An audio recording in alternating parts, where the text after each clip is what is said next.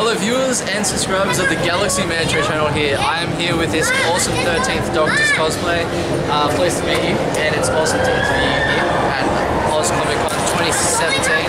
Uh, so, um, what got you into the 13th Doctor's cosplay? Um, I didn't have time to make the Mondasian Cyberman I wanted to do, and uh, thought that what a cool opportunity,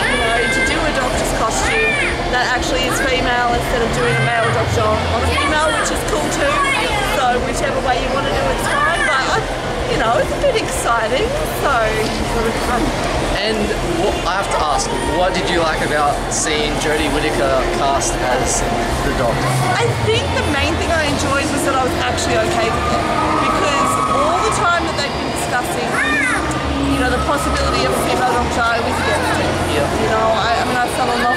Tennant. I adored Matt Smith. You know, you're just like, oh, it's a bit off. Um, but uh, so all that time I was thinking, oh, if they make a girl, I'm going to be really annoyed. Um, but then when I saw her, you know, and I think it was that smile, you know, she got I'm paid, buying a dagger. and it was the smile that she gave. It totally won me over and really surprised me that I was actually really okay with it. Um, but I also think that if you the most recent uh, arc that uh, Capaldi's Doctor had, um, you know, he seemed to be more traumatized than all of the other doctors. He seemed more vulnerable, more unsure, more just, I'm so over this. And everything that happened was missing, you know, the last being female trained was missing, and really, you know, becoming good. Everything that happened with Bill and, and the amount of, you know, companions lost, it totally made sense to me that with all that trauma that he experienced, Hello, we are back again. Um, okay, uh, next question I want to ask is, what have you liked about Peter's like run so far as the Doctor, and are, are you going to miss him dearly? I won't miss him dearly. Okay. I did like his first two seasons. Okay. Uh, not because of him. I was really excited for him. But initially I didn't like the way that Moffat wrote either him or. Uh, but this last season was phenomenal.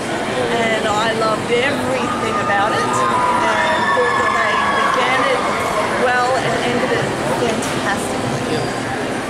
And what would you rate the whole Capaldi's run? How like, great as Like, rate as in five TARDISes or ten TARDISes?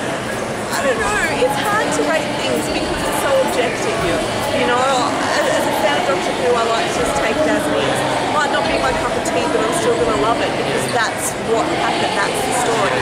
So even if I didn't particularly like it, Yeah. I'm still not going to rate it badly because it all ends up canon in the end. Yeah, it all ends up a part of their story, what makes them who they are. Yeah. Well, it was a pleasure interviewing you today at Oz Comic Con 2017 on the 23rd of September.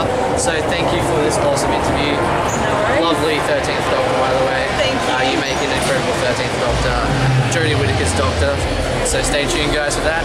Uh, and yeah, let's see what the future holds for Doctor Who when it comes with Jodie Whittaker playing the Doctor next year. Uh, and we still have the Christmas special, so that's going to be awesome to check out. Uh, and thank you for this awesome interview again. No worries. See you again. See ya.